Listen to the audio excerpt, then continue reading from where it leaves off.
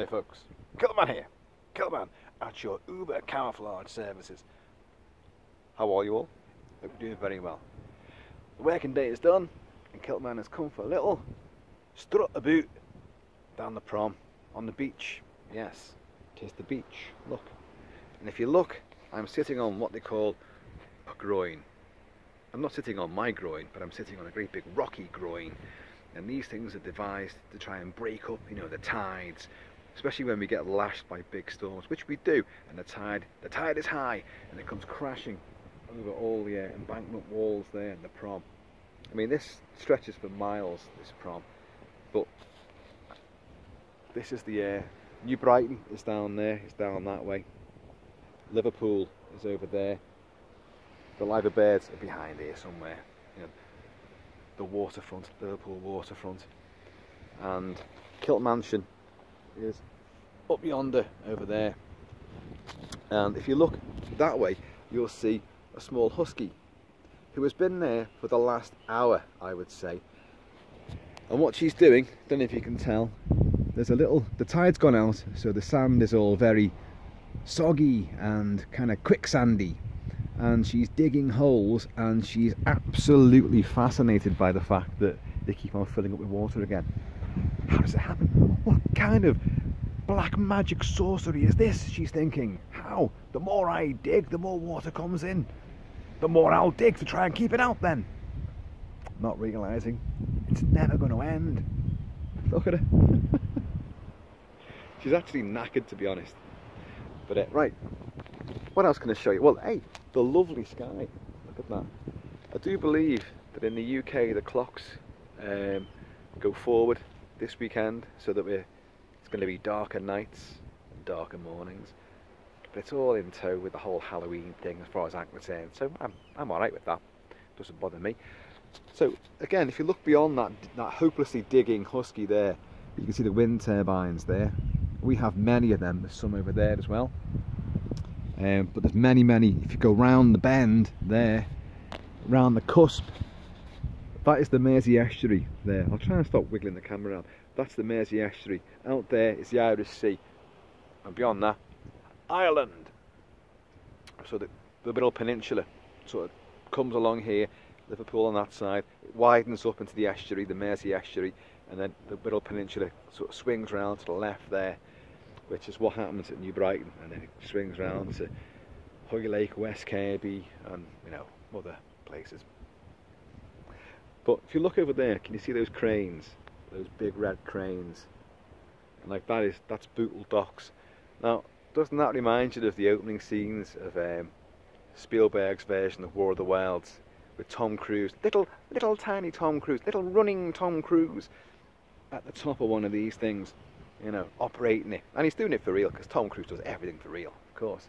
But I always think of that because it's a very enigmatic and kind of awe-inspiring beginning to that movie and of course, the thing, the thing that they're always trying to do, but Spielberg doesn't really nail it afterwards, is that when little Tom Cruise is sitting atop one of those things, those big cranes, it's almost like he's sitting atop one of the huge tripods. That's, you know, the visual um, illustration that he's making, the visual connection. But it doesn't really come across because when you do see the tripods, I don't think anyone thinks back to, oh, that's, that's a bit like when you were up in that crane. But anyway, so maybe, because I think the idea may have been at one stage that he's going to commandeer one of these things and turn the tripod against its own people. I don't know. I don't know where I'm going with that. You see, this is what happens. I begin to ramble when I'm left sitting here on the rocks while the dog just does her own thing for hours and hours and hours. I'm also uh, hopelessly overdressed for the occasion because um, I haven't been sitting in the house and working all day and Mrs. Kiltman does not allow the heating on so uh, and you all know I don't feel the cold but the point I'm coming to is this that sitting in the house and not moving around because you're on the laptop worky worky worky all that worky bullshit you know um, you're not moving around so you're not getting any you're not getting warm so you've got a jumper on and then because oh it, it's it's autumn time and I come to take air out. So instinctively I go and put a jacket on. It's roasting.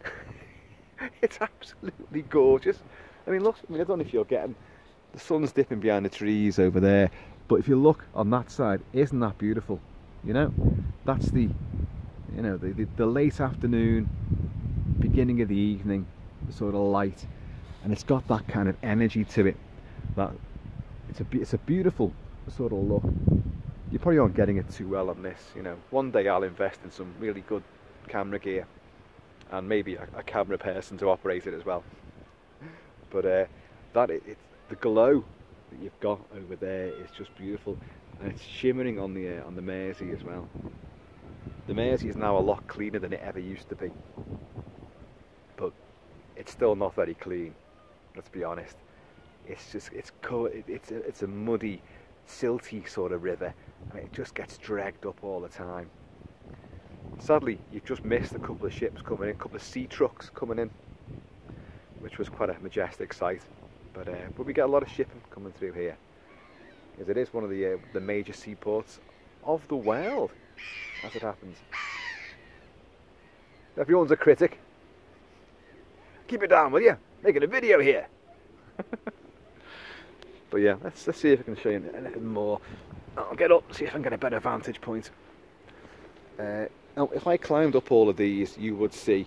Well, yeah, you can see. If I do that, that's Liverpool. And these are all my footprints here. This sand uh, is treacherous, actually. Um, sometimes, you know, the lifeguards do come out and do rescue people from here. Quite a lot, to be honest. And uh, oh, there's one of them ships I told you about. That's that that sea truck over there. Can you see it? That's come all. I watched it come all the way down, and it's navigated, turned itself around, and gone into the docks over there.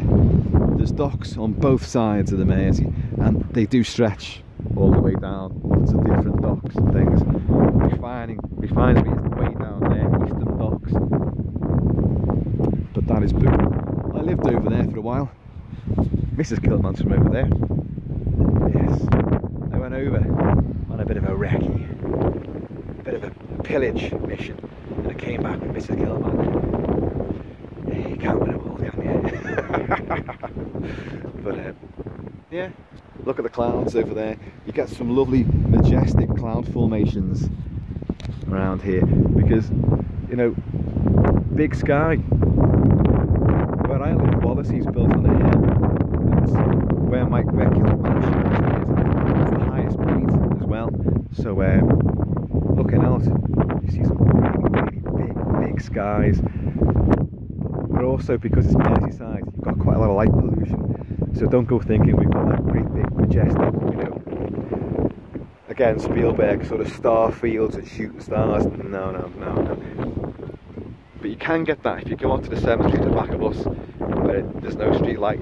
It's great, you know. You will see so many more magnificence eh, in the in the firmament, and you will see shooting stars a lot. folks, there you are. Yeah. You probably can't hear me because the wind's picking up round here. But look, there's the husky. Roxy, say hello. Look at her. Look at this. She spent, you wouldn't believe she spent hours doing that, excavating this. And for what? What purpose? It's just filled in again. Look, she's assessing, she's assessing the damage.